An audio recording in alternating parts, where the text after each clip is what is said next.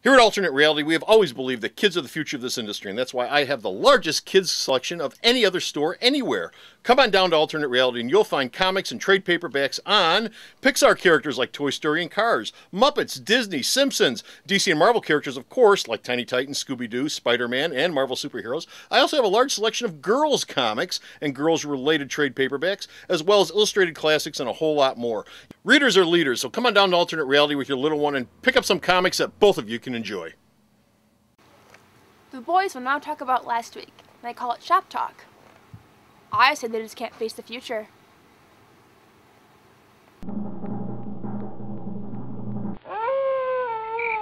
What do you think you're doing? Sure, they're empty news calories, but they're fun and delicious. It's Week in Review Shop Talk for March 9th, 2011. Hey folks, how you doing? Comic Book Man here. Welcome to my video outhouse. It's time for Week in Review, Shop Talk Edition. And this is the Week in Review for March the 9th, 2011. We're going to talk a little bit about, we're going to talk about, oh, we're going to talk about oh. expensive comics. We're going to talk about Jack Kirby getting the shaft. We're going to talk about Doctor Who. We're talking about Mountains of Madness. And to talk with me about all this stuff and more, we've got Who with us in the Shop today? Talk today. Oh, look who's oh, here. Oh, Look Bo. who's here. It's Try not to be Bo. It's. Bo. It's Bo. Hey, Angry Bo, how you doing? I'm fine. Oh, oh okay. He's not angry today. Why am I here? I was. I, Where I is was at the home. shop talk? I was at shop home. talk. Here, here. Let me remind you. Shop talk. I was at home eating a chocolate sundae. First story we've got up in shop talk. We're gonna we're gonna cover a little bit of a little bit of news that I didn't cover in weekend review because Genius here, who was sitting right behind me for the whole damn thing. If you don't believe me, watch it. I was busy. If you don't believe me, watch it. He didn't mention this to me at all. It's totally went over my head. Bo, what do you got there? DC shipped two books this week. What is so similar about these covers? Look, it's people holding dead people. People holding dead people. It's people holding dead people week at DC. Well, although one of them's not really dead, which makes this issue a cheat. Well, he's afraid he's going to get away. So anyway, yeah, it was people holding dead people week at DC. Be sure to And check crying, that out. like, "Ah!" Come on down to your alternate reality or check it out your local comic book shop and see people holding dead people looking all sad. You know they Oh, get awfully you- stinky after. a Oh, while. do you bring your work home with you? Never. You don't want to know about it, folks. They get stinky. You don't want to know about it. Okay, our first big story up is Wallop and Web Snappers. Whoa, web snapper. We had a Spider-Man, a copy of Spider-Man, Amazing Fantasy 15, a 9.6 graded copy sell for 1.1 million dollars this week, which is a record, obviously, for Amazing Fantasy 15. But it's also a record because this is the very first Silver Age comic to be sold for over a million dollars. As a matter of fact, the last time a copy of Amazing Fantasy 15 sold, it was a 9.4 condition copy. It was also slabbed, and it sold for two hundred twenty-seven thousand dollars. So in the last year, this one is two tenths of a point better than that last one, but it sold for a million one. Nicolas Cage bought it, right? Is that crazy or what? Nicolas Cage bought it. 9.8? 9.8 though? No, it's nine six. Oh, 9.6. Charlie The one that sold it? for one point one is Who nine bought six. Uh, they didn't say. Didn't say. This was a Cage. this was a Comic Craft auction, ComicCraft.com, au- Comic Connect auction. I'm sorry, dot .com. Uh, and the word is that this is probably the finest copy of this book that is in existence at this time that we know of. That we know of. Of course, there could always be something out there in somebody's attic, sealed away. But as far as people are concerned, and there there are probably a couple of thousand of these floating around out there, but this is the best condition copy that's that's been out there. Bo, would you pay that much for a copy? Amazing Oh, hell no. 15? Are insane? Maybe Todd McFarlane. Amazing Fantasy 15 originally sold for 12 cents if you were around in 1962 when it first came out. It's a hell of an investment. Uh, sold for 12 cents when it first appeared. Uh, and of course, Amazing Fantasy 15 is the book that launched the Amazing Spider-Man to the world and and was the series was canceled like right after that issue and we went right into the Amazing Spider-Man. Do you remember what else was in it? Uh, there was a backup store uh, backup story I think by Ditko. It was one of those monster things I think. Okay. Fing You know, Fang Foom. Gagoom, son of Gagom or something like that. Thank you, Stanley. Gagoon was a hell of a game. or it might have been it might have been a mystery thing. I don't know, but but it had nothing to do with Spider-Man. There were actually two stories in that book. Spidey's the first half, and then the back half was another one. But the Spidey story was so hot, it it catapulted him into his own book, and and really salvaged the Amazing Fantasy franchise for that one issue. they canceled the series after that. Save me! Uh, Uh, just just for the record, last year, okay, that last year, for those of you who have forgotten, uh, a copy of Action Comics number one sold for over a million dollars, and Detective Comics 27 also sold for over a million dollars. I believe the Superman, the Action Comics was 1.5 million. Uh, Batman wasn't quite as much; it was 1. Two million, I think, or something. But those are both Golden Age comics, and there are very fewer of those in existence than there was Amazing Fantasy 15. This, obviously, you know, sold being much newer and having more copies in existence. I think it sold this for this much because it's Amazing Spider-Man, and it's no longer a comic book. It, it's it's a cultural icon. It's a touchstone. It's a piece of actual memorabilia from from our our shared history. Did after paying that much for it, you'll never open again. Yeah, as as as opposed to you know stuff like this, which ain't never going to be worth that much. Money. What? You have any uh, any great thoughts on that, Bo? That's really way too much to pay for a comic. You think so? they didn't say who uh, who bought it last George year. Bush.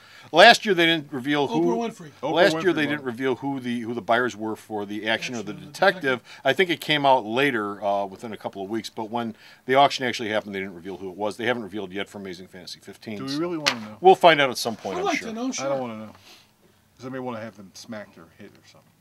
Okay, the next big story that came out this week, comic book story, uh, is about the Jack Kirby Stan or Marvel Comics uh, copyright lawsuit that's been kicking around the courts now for quite some time. Uh, there's a big story that came out on that this week. Bo, why don't you take it? Because you're very familiar with the story. Bo, who's familiar with the story, will tell us more about it. Okay, Bleeding Cool basically started this a couple days ago.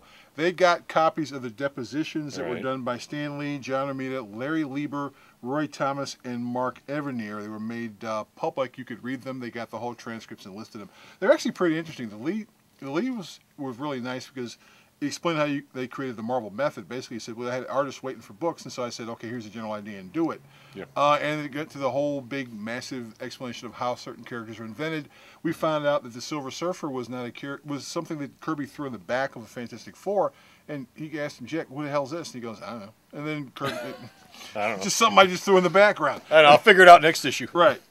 Now, Marvel's defense in all this is that Stan Lee was the sole creator of all the characters in question, and that Jack Kirby's work was considered work for hire, uh, which is something they may actually be able to prove because apparently the people who worked for Marvel at the time said that all the checks that you got from Marvel, on the back of the checks, it quite clearly said anything you did by signing this check agreed that everything you turned in and were paid for belonged to the company. Well, there's an actual stamp that they put on the back of the stamp on the check. So back of right the where check. right where you sign for the check, Right. you're signing in a stamp that says, "Guess what? You're signing away all your You're rights to this some- thing." Did Stan Lee get the same deal? Stan Lee got the same deal. Stan Lee So got the his- same His deal. checks were stamped the same thing. But but the difference is they're saying that Stan or the office manager, Right. uh, uh, whoever was around at the time, Well, they said are, are are the creators behind all these characters, and Stan has already made his deal with Marvel and is is living quite comfortably until the day he yeah, shuffles fact- off this yeah. mortal coil. Yeah, because Roy Thomas was the editor in chief who followed Stan Lee, and he Yeah. said, and they asked him, well, did any artist ever do any books or any issues without talking to Stan Lee or the office manager? And he went, no. Until Stan them told them what to do, they didn't have anything to do. Yeah. Now, Mark Evanier was there because he was a friend of Jack Kirby's. He met Yeah. Kirby when he was 17 years old. And the first thing that the Marvel lawyers hit with is the fact that you know that anything you say about what Jack Kirby says is considered hearsay evidence, and so therefore it's relatively unimportant. But Ask Drew Peterson about that. Right. but what's, what's really cool about this is I'll never get convicted. if you read the, if you read the transcripts, Evanier was a little more combative. But what the Marvel lawyer got Evanier to admit was that Jack Kirby's memory sucked. Jack Kirby did an interview with a newspaper in which he said he created Superman. Jack You're not trying to do. You're not trying to make Marvel do the legal thing. You're trying to make Marvel do the right thing. Well, it- and that's not going to happen. It's it, it- basically the problem is if you sign the thing for the work for hire, there's no there's no one to contradict Marvel's story because nobody in the Kirby family is around, and the Marvel people that are still around, they're saying no, he was all work for hire, and Jack was fully aware of it.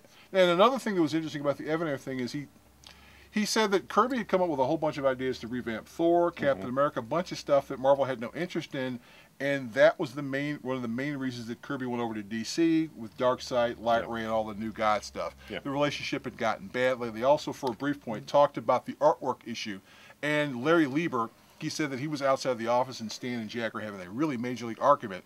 And Stan, and Stan, you know, Stan was in his office and Kirby left and he took his art and he ripped it in half. He threw it in the garbage can. And Lieber says, "Yeah, he would do that sometimes." And we pick it up and tape it together and we take it home. so somebody's got taped together. Right, right. Yeah, He's I bet got- you they got a few that aren't ripped up. Yeah. Well, and that and the fact that back then people didn't keep art; they gave it away. Yeah. You went to the office on a tour. Here. That's what makes it collectible. That's the. It, well, it, back then it wasn't collectible. This was something they were doing because they were getting paid for those pages. Well, a couple of things. That, was that. We're, we're this is sort of getting off topic here, but yeah, that at DC and at Marvel, that was a very common thing. If you went to visit the offices, and they would actually do not full blown tours, but if you called and said, "Yeah, you know, I really love Superman, or I really love Spider Man, Can I can come I, to the can I come up?" They, offices? they said, "Well, sure. Yeah, why don't you sure, come come on. Friday after three? You know, Right. not much going on. You go up there, they walk you around. Yeah, here's the bullpen. Here's this. Here's that. Hey, kid, here before you before you leave, here have this piece of art. Oh, thank you. Yeah, they give it you away. know, they just give it away. Now, right after they did, right after these depositions were done in December, the judge already threw out the entire claim that Kirby was owed artwork because he said if Kirby wanted the artwork, he could have had it by then, and so therefore that wasn't part of the lawsuit. So, but uh, Yeah, it's, you were talking about the New Gods thing. Uh, that that is sort of common knowledge. That when Stan Lee left Marvel and came to DC, a lot of the New Gods stuff was stuff that he had planned Jack for Kirby Thor. Stan Jack Kirby, I'm sorry. Yeah, Did I say with Stan Stan- Lee? Stan- Jack Kirby. when Jack When Jack Kirby Kirby came to came to DC, a lot of the ideas he had for New Gods was stuff that he had planned on doing with Thor, or stuff he was planning on doing at Marvel at some point, which either never happened, or never got fleshed out, or never advanced, or never whatever. But he never used them, so he used them there. well, yes, yeah, he brought the stuff to Lee, and Lee went, "I have no interest in this." Yeah. Okay, I'll take it to DC, and they'll make Darkseid out of it. They'll make Darkseid out of it. All right, that's uh, comic book news. Media news. Media news. We got two stories. First up, Doctor Who. Doctor Who is coming. God, it takes forever for them to get this. You out. know, they're Brits. They work. I don't casually. give a damn. You know, series that take that long, no matter how good it is, at some point people stop caring. Not Doctor. But anyway, the new season of Doctor Who is scheduled for an Easter premiere, uh, the Saturday before Easter, April the 23rd, 9, 8 Central on BBC America here in the United States. They're going to show it in England an hour earlier, so they'll have seen it. They'll go online, they'll tell us all about it, and they go, ha ha, here's how it ends. And then they'll start it here.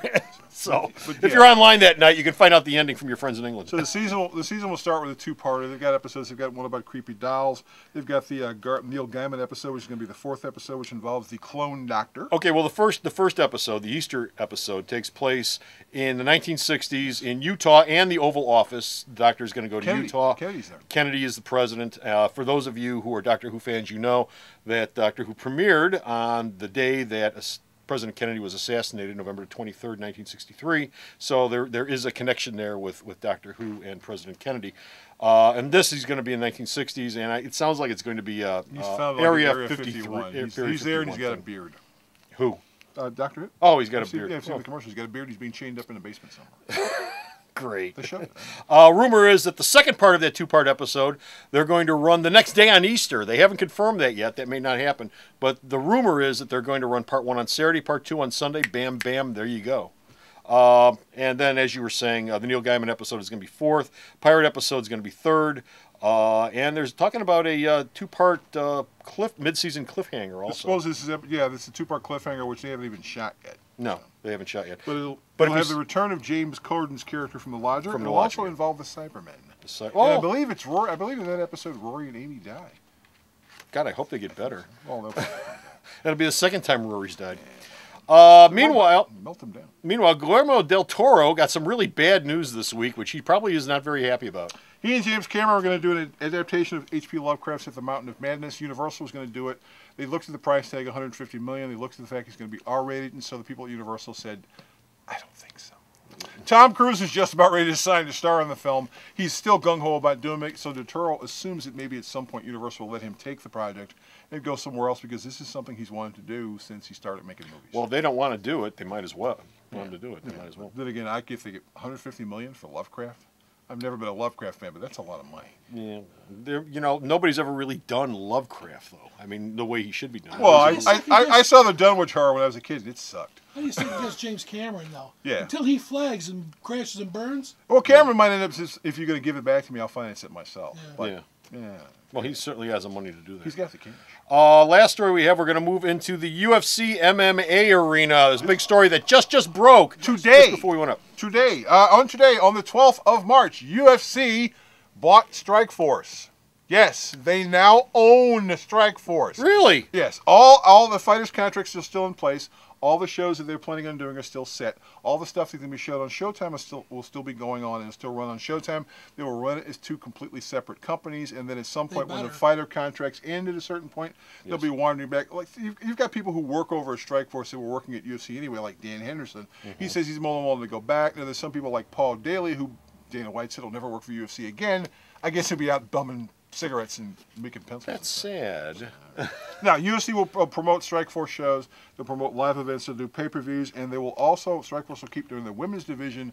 But Dana White's made it quite clear there aren't enough women out there to make this a big deal. So Yep. once their contracts are up, it might be over with. And White himself will not be appearing on camera live at any Strikeforce events on Showtime.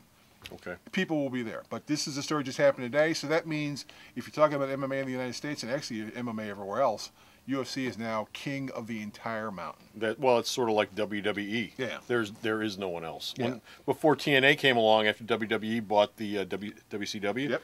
they were it. They were And it. UFC, um, UFC already had the uh, Pride video rights. They bought, they bought all the Strikeforce stuff, and like the WWE, they're also planning on doing a network. So they've got all this footage out there. What the hell? what the hell? Might as well do it. Uh, any word on what the uh, sale price was? No, they haven't said what the sale price is. They're going to hold a press conference on the 15th to explain all of it and how much it costs, but it probably isn't going to be that much. Strike That's a great story. The guy that started that up in the first place on almost nothing, next to Yeah. nothing. Yeah. He must have cashed in on. He a can't. million- Well, he cashed in. Well, actually, the guy, the guy who invented the entire concept of UFC, he got about two or three million for it, and he says he's, he's even though He it's got worth screwed. a billion now, he says he would do the deal again because he said at the point that I was sold it, nobody was, nobody gave a crap. Yeah. So. Well, he couldn't. He couldn't Right. expand it beyond where it went. And the guy who owns uh, Strikeforce, Scott Coker, he's actually he owns the HP arena in San Jose and a whole bunch of other stuff. So Scott Coker's getting off like a fat rat. So let the blood flow. Lovely, lovely. And that's it. We're done. We're finished. We're out of here. That's it for Week in Review. But you can see more Weeks in Review at the store's website, as well as his news and Dan's reviews and JR's media news and a whole host There's of other what? things. Media news. Media reviews. No, media news. Yeah, Jr. doesn't do media news. Oh, that's right. Well, he does it here. I'm sorry. He does it here. Check out the website. And see but what check it out. Go And- look at it. And of course, the store's website is at. Tell Sarah 'em. knows where all the stuff is. It's at Tell 'em where it is. www.myalternatereality.com. No, No, it's not. Sarah, tell Yeah. us. See. You still haven't figured out what it is yet? www.myalternatereality.com. So, go to the store's website. Check it all out. Until next time, this is Comic Book Man. I'm a busy man. I I don't know have time to watch I this. I do it. I walk away. It's over with. Reminding you, it's people holding dead people week at DC. Be sure to stop by and take part in this wonderful event. Bye. Don't make him dead. The Video Outhouse is brought to you by some of the finest people willing to work for free. This is a list of some of them.